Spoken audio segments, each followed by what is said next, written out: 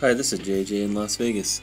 I'd like to share with you a process that I do right now regarding the SPD time cards. I have a XLS spreadsheet that I do on the computer and I print it out and put it into this binder. And as you can see, it is a lot of wasted paper. So what I'm going to do from now on is save this XLS worksheet onto a memory drive and hopefully this will eliminate this whole entire binder. Thanks for watching.